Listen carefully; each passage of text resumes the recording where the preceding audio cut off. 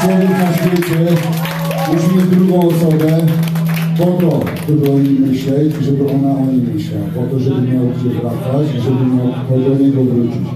Przede wszystkim po to, żeby swoje życie zrealizować. Nie można być na świecie samemu, bo samemu bycie jest chujowe, osobne i do niczego nie prowadzi. Jest tylko produkowanie śmieci. Wszystko to, co mamy.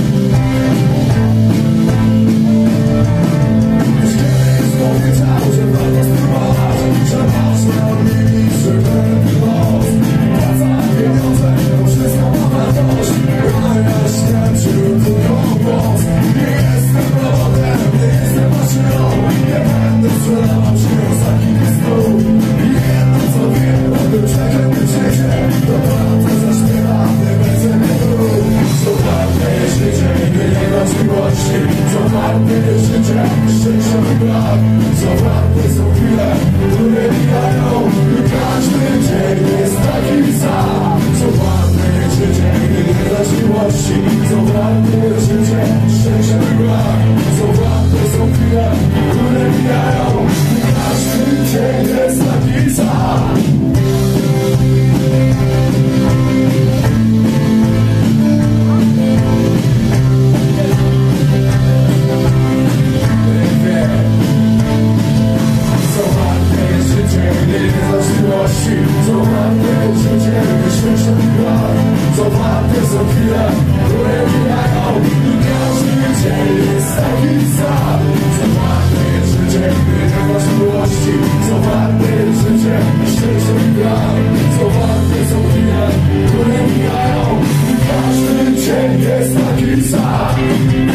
Dzięki.